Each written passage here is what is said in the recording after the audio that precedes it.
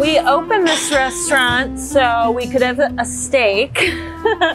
this one is just such a crowd pleaser. It's based on the traditional steak preparation in Florence, Italy, where I lived with my mom and it's a ribeye. It's from E3 Ranch, grass-fed, finished, no hormones, wonderful cut of meat, grilled, medium rare, and then you put a little bit of roasted garlic on top, correct?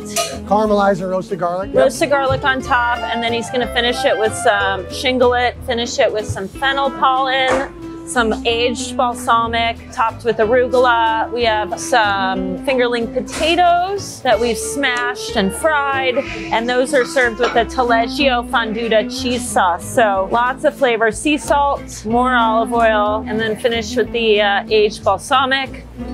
Everything you need right there.